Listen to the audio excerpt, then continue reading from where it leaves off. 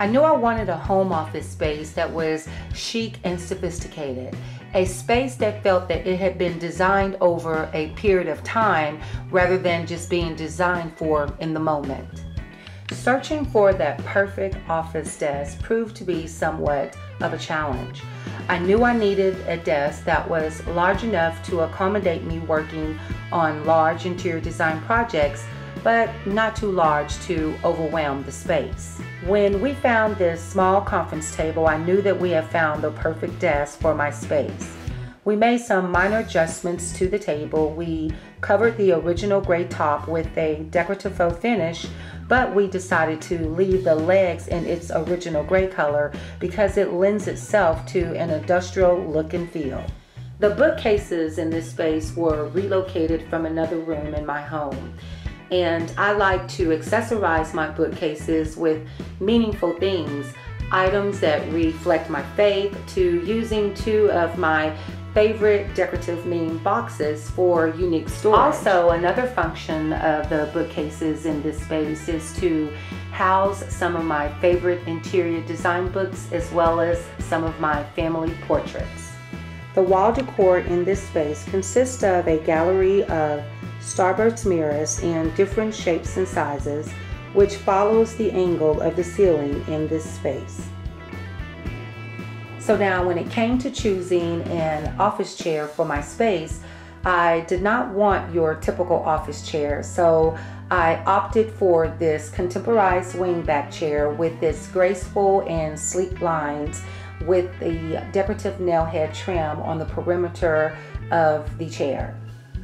Choosing art is very personal to me, and I feel that art should speak to you. So, when I was looking for a piece of art to hang in my space, I wanted the art to not only be beautiful but also be inspirational at the same time. Lack of storage was not an issue in this space, and actually, I was able to relocate some other furniture pieces from other rooms in my home to put inside of my home office, this being uh, one of the pieces.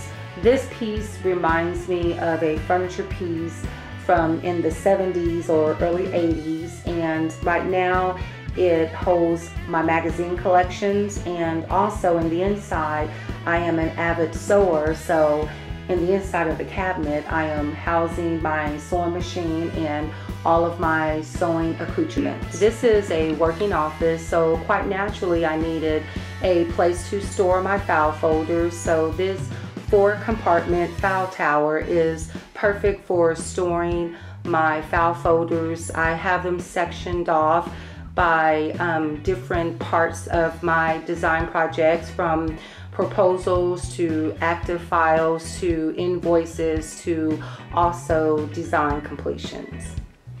Overall, I am quite pleased with the final outcome of my home office.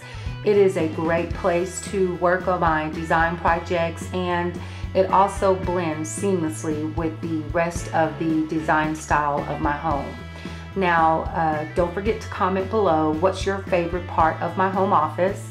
And if you like this video, please be sure to give it a thumbs up. And if you're new to my channel, I would love for you to hit that subscribe button to get more tips on design and decorating. Thanks for watching Designing with Haute on Design, designing for the home, body, and soul. Bye for now.